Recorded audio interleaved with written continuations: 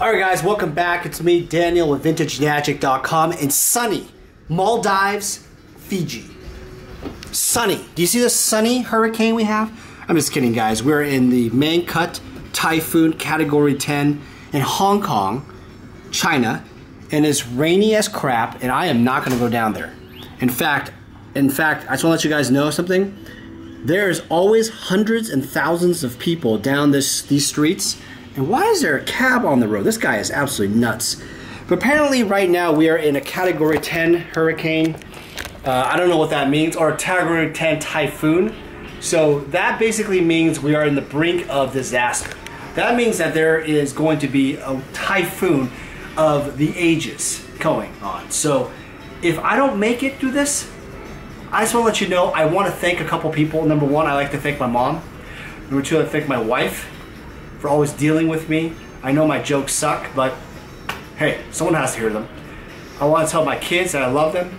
And last but not least, Rudy. Would you stop buying out the freaking cards so I can buy something too? Alright, here's the deal. I'm telling you guys right now, there is a typhoon of downside right now in Vintage Magic. In old school cards and also certain specific reserve list cards. Now, I'm gonna hold on a second. And this is what's going on, guys. You guys might think I'm absolutely nuts. Because I am drinking light taste Pepsi. No, no, no. There might be some shit. No, this is mine. Thank you. There might be something wrong with me. I think something is wrong with this Pepsi in, in Southeast Asia because it's causing me to have this epiphany the typhoon maybe, the wind blowing in my face. I don't know what's going on, guys. I really believe there is a downside to the market. Here's what's going to happen. In the next, in the wintertime, Q4 to most people on the calendar year, I really believe there's going to be about a 15 to 20% decline on a lot of these reserve list cards. In fact, it's already happening. I want you to look at some of the prices from before especially the GP Vegas time frame, especially the incoming GPS, GP Vegas time frame.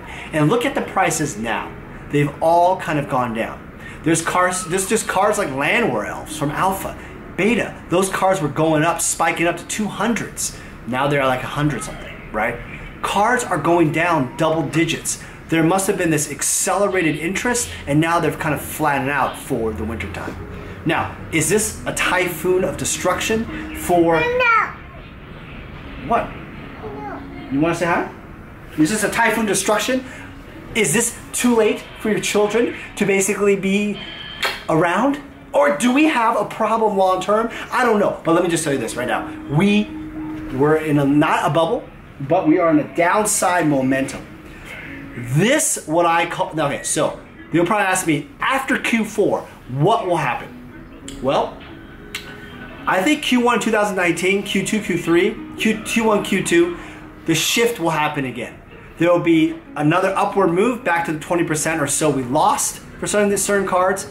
And we actually will find that certain cards through the downside would actually rise in or be just go up a little bit incrementally because of some demand for old school decks. I have a feeling, especially with NoobCon. What's NoobCon? The hell is a NoobCon? is a Swedish tournament in uh, Gothenburg. It happens in April. And there should be a small little smidget of spike in interest in growth of alpha cards because people still want to play in the Alpha Wizards tournament. I also think that with the European growth and that, also growth in the collectible market, people come around in Q1, Q2 and start buying those cards again. Now, do I think do I think that the market will go down in general for Power 9 dual lands? Uh, no. Sorry to say, guys.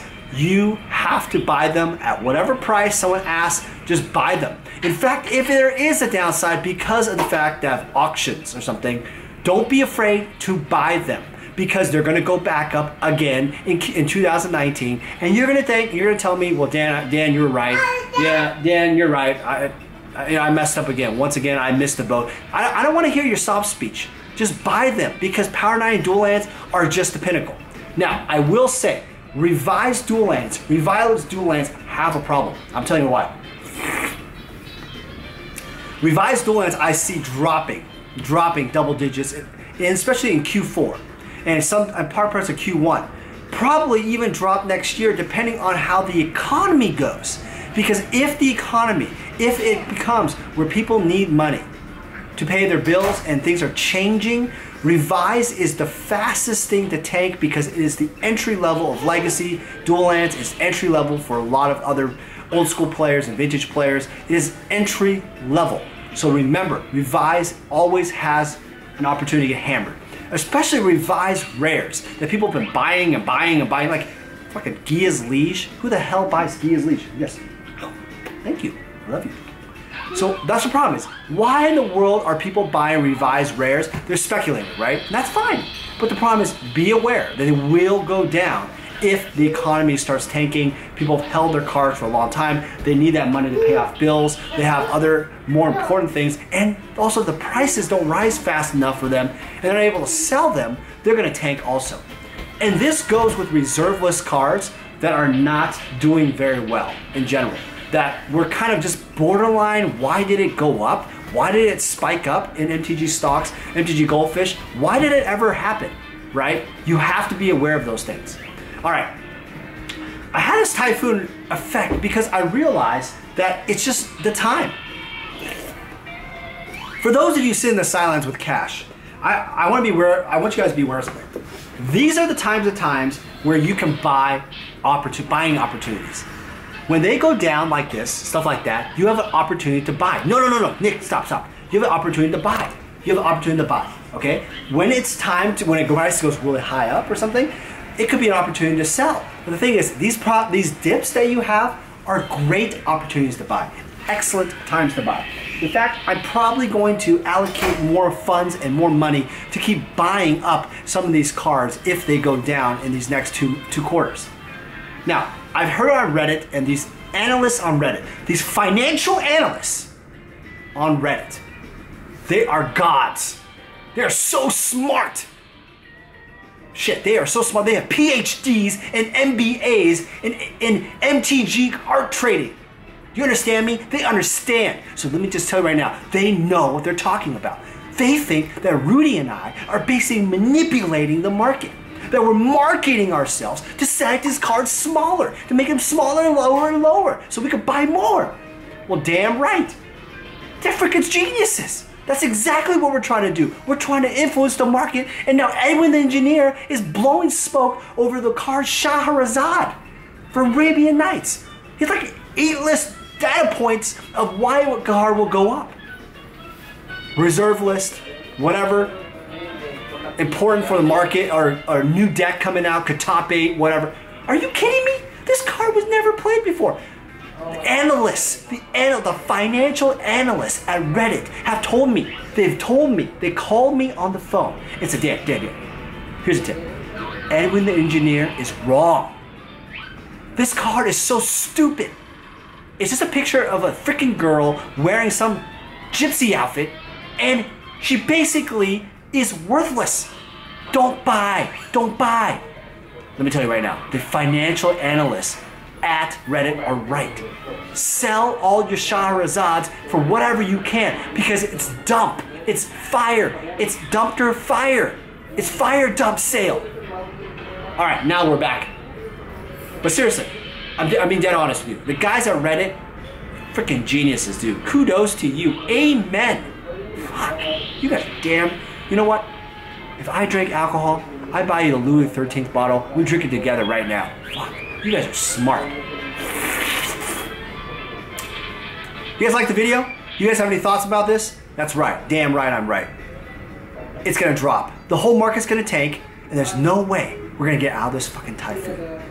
Unless, unless we do one thing. Unless we experience what is what what is interesting about typhoons is that what you can do is you can sometimes just believe. Believe. Believe in yourself. Believe in your family. Believe. Believe. Believe in yourself. In your family. Lily, don't buy the cards. Just give them, just give them to Rudy and I. We just want you to sell them all to us. It doesn't matter. No one cares. We're all gonna be happy one.